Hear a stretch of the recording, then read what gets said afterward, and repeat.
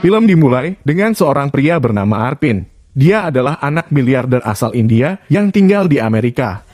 Arpin dan adiknya yang bernama Johnny selalu bersenang-senang menikmati kemewahan dunia. Mereka berdua tidak bisa lepas dari pesta dan wanita.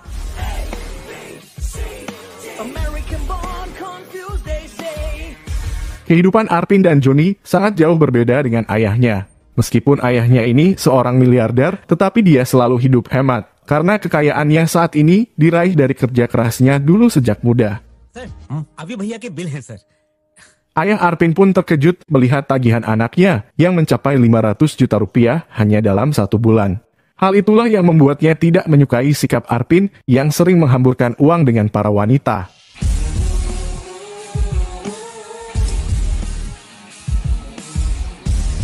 Saat di rumah, Arpin pun disidang oleh ayahnya.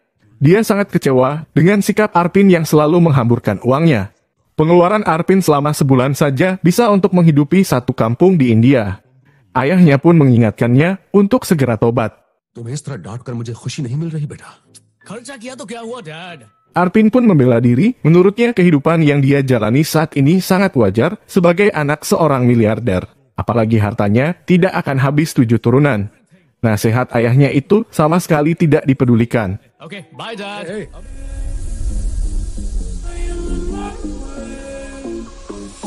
Arpin dan Joni pun kembali pergi ke diskotik untuk menghamburkan uang. Di sana, dia tertarik dengan wanita cantik dan seksi. Dia pun menyapa dan berjoget dengannya. Namun hal itu membuat pacar si wanita menjadi marah dan akhirnya perkelahian pun terjadi lucu.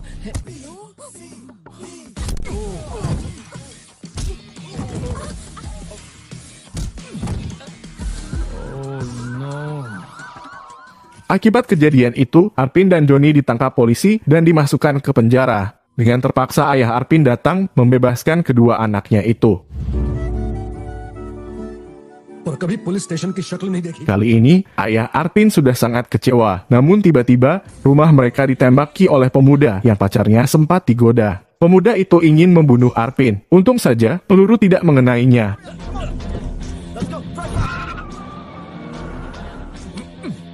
Insiden itu pun membuat ayahnya semakin stres karena mempunyai anak yang sangat membagongkan. अभी अब तुम बड़े हो। dan akhirnya, ayahnya akan memindahkan Arpin ke India, karena di Amerika, dia selalu membuat masalah. Namun karena Arpin ini anak yang sangat manja, dia sama sekali tidak siap untuk hidup mandiri di India. Tapi ayahnya memaksa. Ayahnya sudah sangat kecewa kepadanya.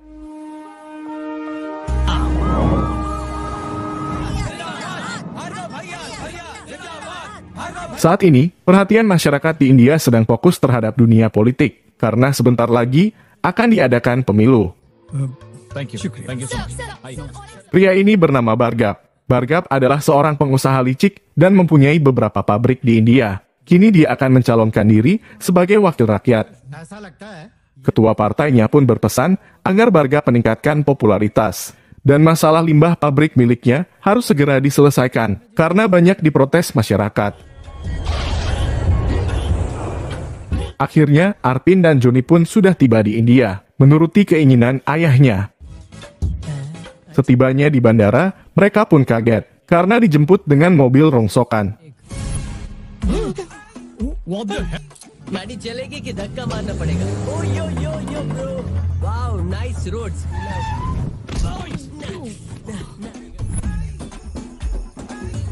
Dan mereka pun semakin kaget setelah diantarkan ke tempat tinggal barunya. Top floor पे तुम्हारा कमरा है what Ternyata mereka akan tinggal di rumah yang jelek dan lingkungan yang kumuh.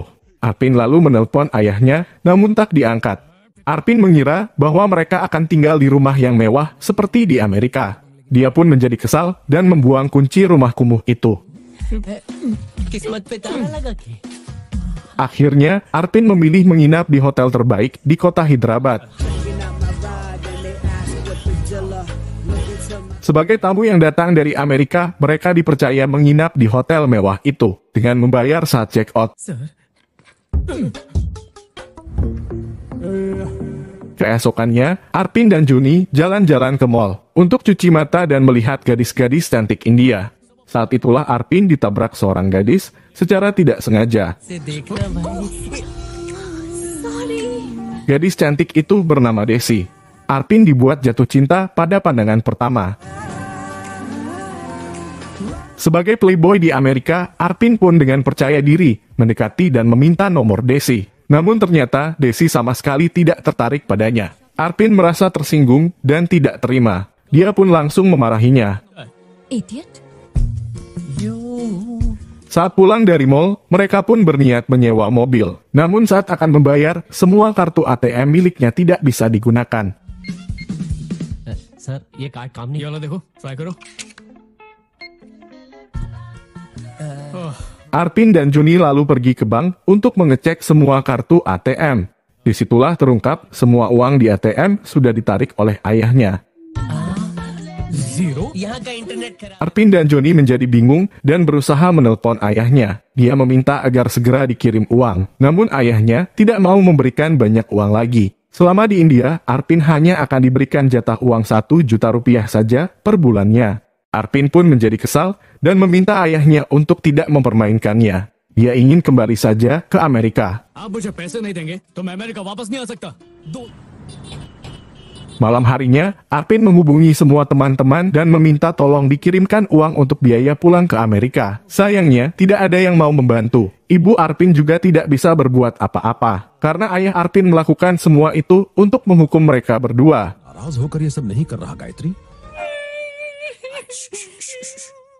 Dua pemuda manja ini sekarang terjebak di India. Mereka tidak bisa membayar hotel.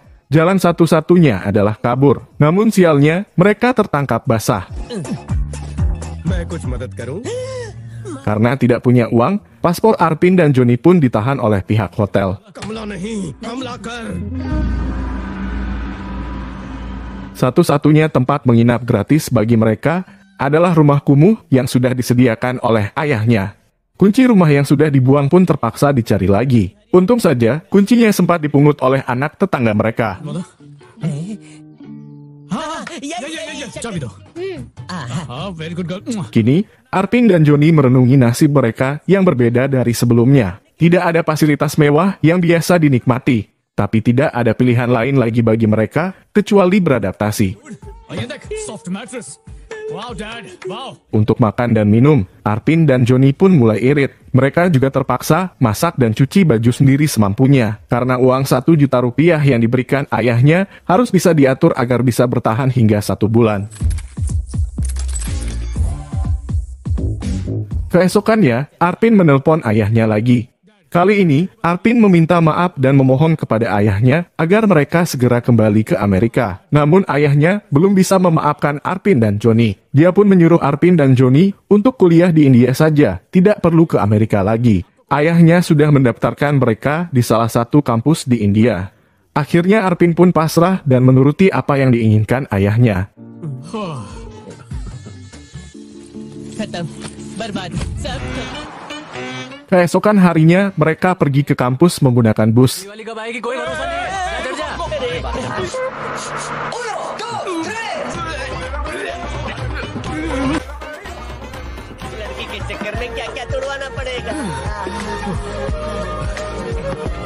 Mereka kuliah di kampus Institut Napa Barat.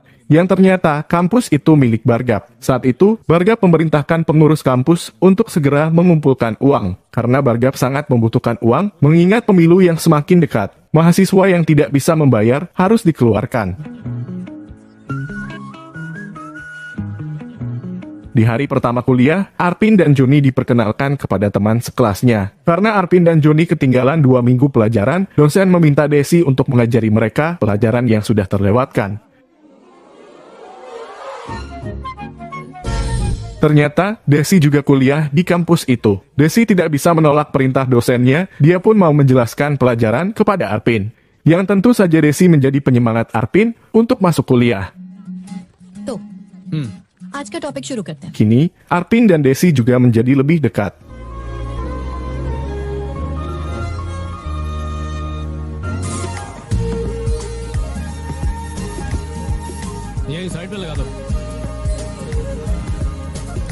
Setelah belajar, Desi pun mengantar Arpin pulang. Namun ketika Desi mengantar Arpin pulang, dia kaget dengan tempat yang ditinggali Arpin. Di sini, Arpin berpura-pura miskin kepada Desi. Arpin pun menceritakan dia terpaksa tinggali tempat seperti ini karena sudah diusir oleh ayahnya. Arpin menggambarkan ayahnya seorang pemarah dan pemabuk yang tidak peduli kepada keluarganya. Cerita palsu itu dikarang untuk menyembunyikan identitas aslinya yang merupakan anak seorang miliarder. Dan kebohongan Arpin berhasil. Desi pun mau berteman dengannya.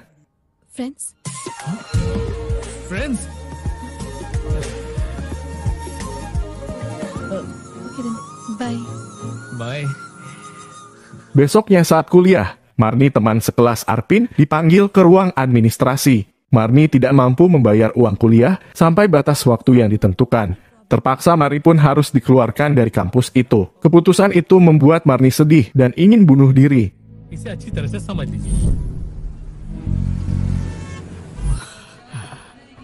Malam harinya, saat Arpin dan Joni mabuk di bar, tiba-tiba Desi menelpon dan memberi kabar bahwa Marni melakukan percobaan bunuh diri, dan sekarang dia sedang dirawat di rumah sakit. Barga pun tidak ingin kasus itu keluar tercium media, sehingga dia menelpon Ajay, senior di kampus untuk mengurus masalah itu. Dan semua biaya kuliah Marni akan dilunasi oleh Bargap agar tutup mulut.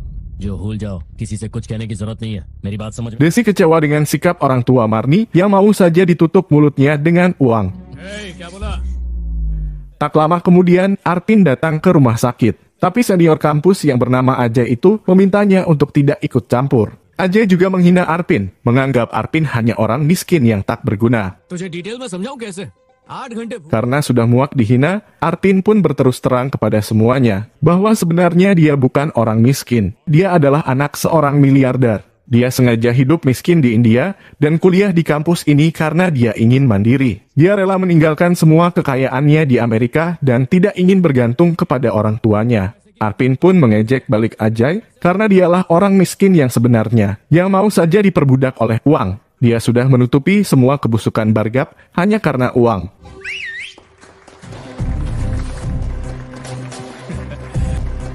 Keesokan harinya, kampus diramaikan tentang pemberitaan Arpin di sebuah koran. Nama Arpin menjadi terkenal karena ucapannya semalam. Dalam waktu semalam, berita tentang Arpin langsung viral di sosial media. Kehidupan Arpin yang rela meninggalkan kekayaannya di Amerika dan hidup sederhana di India menjadi perbincangan masyarakat. Hal itu sangat menginspirasi anak muda untuk hidup sederhana seperti Arpin.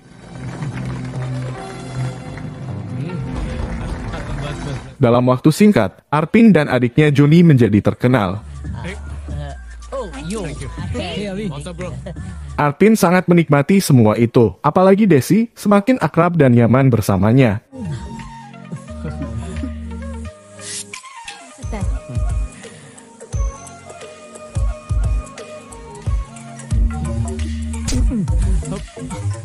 kehidupan Arpin yang dijalani saat ini memang memprihatinkan. Arpin yang biasa makan enak dan selalu berkecukupan, kini menjadi sering kelaparan di malam hari. Rasa lapar itu, dia ganjal hanya dengan minum air putih. Untung saja, anak tetangganya sangat baik. Terkadang anak itu datang membawa makanan untuk Arpin. Eh, jaldi ana. Aa Oh, Nama Arpin yang semakin populer membuat media datang ke tempat tinggalnya. Kini yang apa pun Arpin lakukan selalu disorot media. Video tentang Arpin di kampung kumuh menjadi berita di televisi dan media lainnya. Arpin dikenal sebagai anak miliarder yang rela hidup sederhana.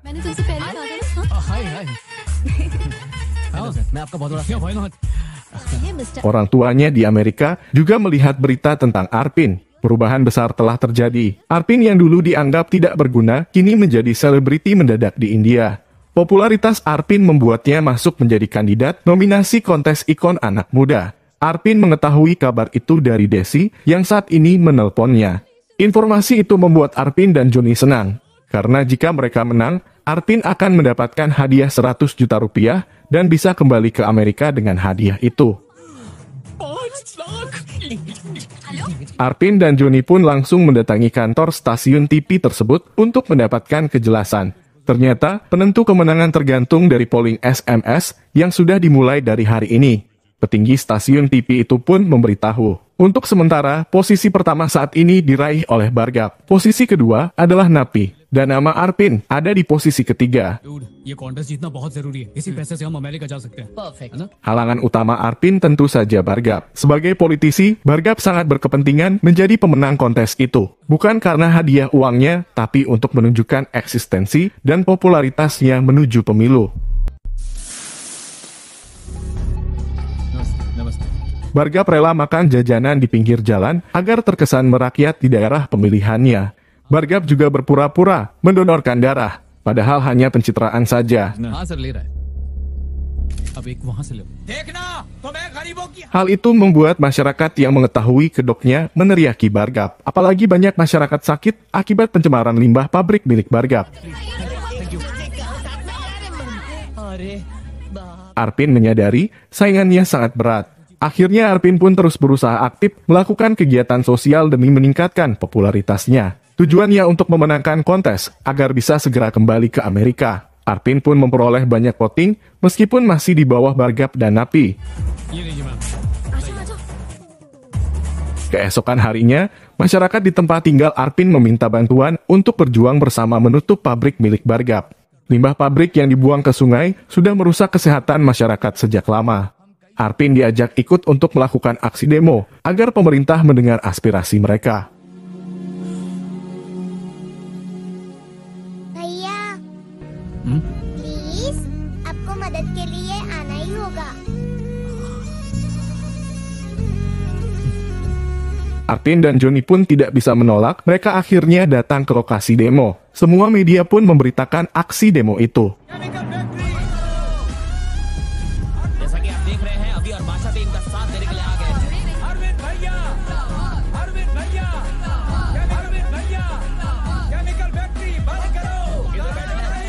Bargap yang menerima kabar ada aksi demo itu meminta kepolisian untuk membubarkan semuanya. Dan Bargap juga menyusupkan beberapa preman ke barisan para pendemo itu.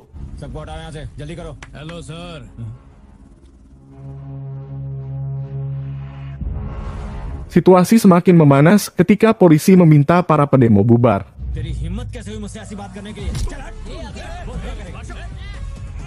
Para preman suruhan Bargap pun melemparkan batu ke arah polisi untuk mengadu domba polisi dengan masyarakat. Dan kerusuhan pun terjadi.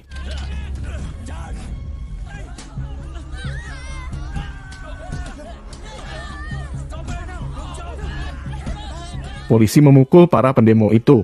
Orang tua, wanita, bahkan anak-anak menerima kekerasan. Masyarakat berusaha pasang badan agar Arpin tidak dipukuli polisi. Tindakan polisi semakin menggila. Arpin dan Joni akhirnya pun dihajar dan ditangkap. Keduanya lalu diamankan ke kantor polisi.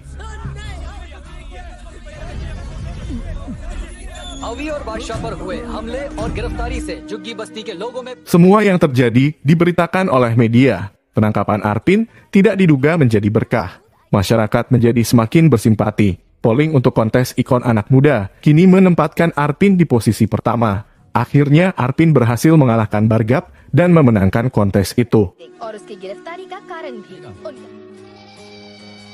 Di dalam penjara, Arpin dan Juni saling berdebat dan saling menyalahkan. Tujuan mereka ikut demo yang tadinya untuk pencitraan, tapi justru malah berakhir di tahanan.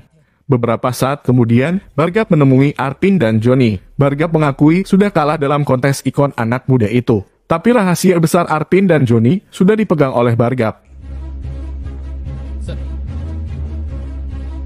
Bargap mengetahui alasan sebenarnya Arpin berada di India. Bargap juga memiliki salinan laporan penangkapan mereka saat di Amerika, termasuk paspor yang disita hotel karena tidak bisa membayar sewa hotel. Bargap sudah memiliki semua bukti itu, lalu Bargap pun menawarkan kepada Arpin. Bargap akan membiayai kepulangan mereka ke Amerika, dan Bargap tidak akan membongkar semua kebohongan Arpin kepada media. Ek mahine ke baad. Tapi semua itu ada syaratnya. Syaratnya adalah saat Arpin mendapatkan penghargaan kontes ikon anak muda, Arpin harus mengatakan kepada seluruh masyarakat bahwa dia terinspirasi oleh Bargap. Pokoknya Arpin harus membuat nama Bargap sebaik mungkin di mata masyarakat, agar Bargap bisa menarik simpati masyarakat untuk memenangkan pemilu. Deal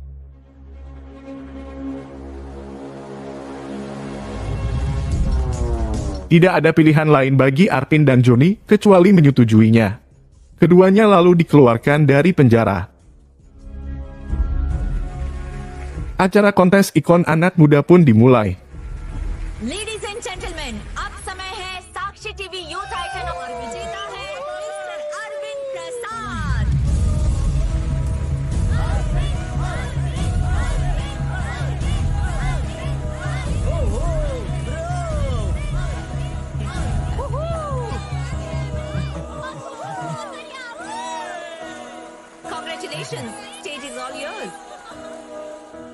Dalam sambutannya, Arpin mulai memuji Bargap. Sosok Bargap disebut inspirasi hidupnya. Ucapan Arpin membuat masyarakat bingung dan kecewa. Mengapa Arpin tiba-tiba berubah dan berpihak kepada Bargap? Namun tiba-tiba, Arpin pun tersadar sesuatu dan menghentikan sambutannya itu.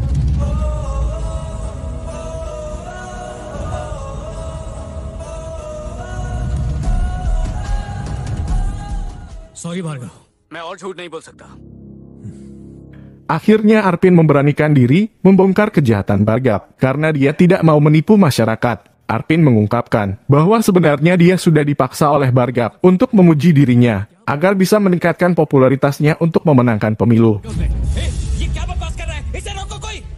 Saat itu juga, Arpin mengungkapkan sendiri semua kebohongannya, bahwa sebenarnya Arpin tidak sebaik yang mereka kira. Dia datang ke India karena diusir ayahnya. Dia dihukum dan dipaksa ayahnya hidup miskin karena Arpin selalu membuat masalah di Amerika.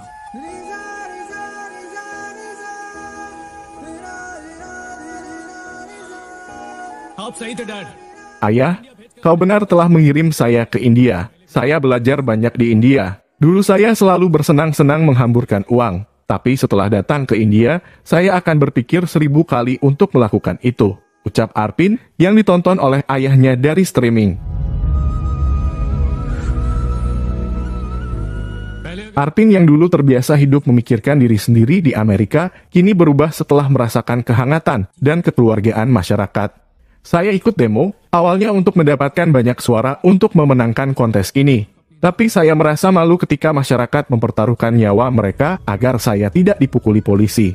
Kalian telah membuat saya berubah. Terima kasih untuk itu dan mohon maaf atas semua kebohongan yang saya lakukan, ujar Arpin.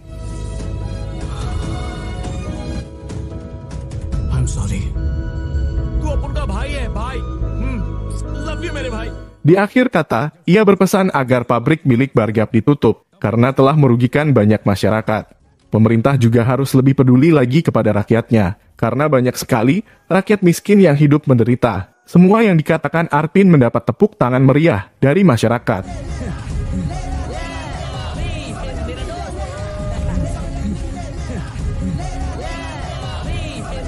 Pemerintah tidak punya pilihan lain lagi selain menutup pabrik itu. Bagap juga dipecat dari partai atas ulahnya sendiri.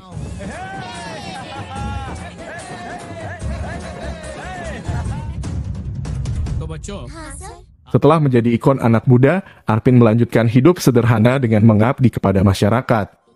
Ayahnya pun datang dengan penuh rasa bangga. Ayahnya sangat bahagia melihat anaknya kini sudah berubah. Dia pun mengajak Arpin untuk pulang ke Amerika. Namun kali ini, Arpin yang menolak kembali ke Amerika. Arpin memilih tinggal di India karena dia ingin membantu masyarakat miskin. Dan dia juga telah menemukan wanita idamannya yaitu Desi. Kaunsi? Wo ladki ya, kya? Dengan senang hati, ayah Arpin pun merestui hubungan mereka berdua.